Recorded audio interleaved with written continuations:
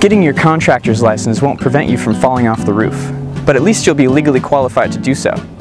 Hi, my name is James Diaz with the Contractor Licensing School, and we can help you get your contractor's license. If you have four years of experience in your trade, give us a call. We would love to help you out.